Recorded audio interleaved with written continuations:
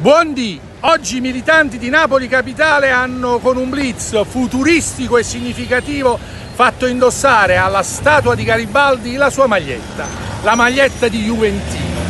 Non è una trovata pubblicitaria, è una trovata significativa, è un blitz futuristico significativo, perché Napoli riparte solo se ci saranno uomini e donne che amano Napoli e il Napoli e lavoreranno per essa, che ricorderanno gli splendori del passato e la statua di Garibaldi ritorni nel Piemonte, in quelle risaie che si bonificarono grazie ai soldi che lo Juventino Garibaldi rubò alle casse del Banco di Napoli. Ritorniamo ad essere orgogliosi del nostro passato. Napoli deve ritornare ad essere capitale. Napoli capitale. Via la statua di Piazza Garibaldi, via Garibaldi, che sia Piazza Totò, Piazza De Filippo, Piazza Federico II. Viva Napoli, viva Napoli Capitale!